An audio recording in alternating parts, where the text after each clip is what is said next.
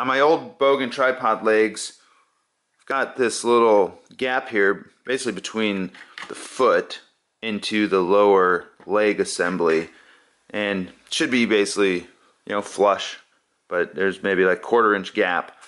And trick I find is basically just hammering it back in. I use, you know, just like a tent mallet, tent peg mallet.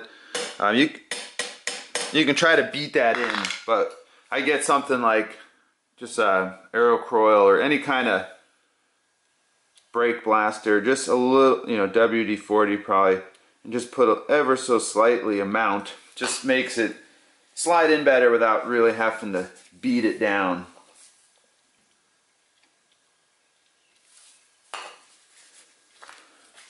Just usually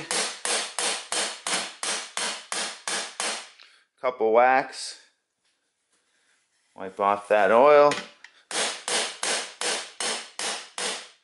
And it's back good as new.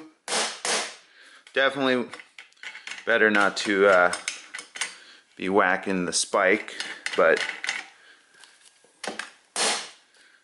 easy fix. Get your tripod back to level.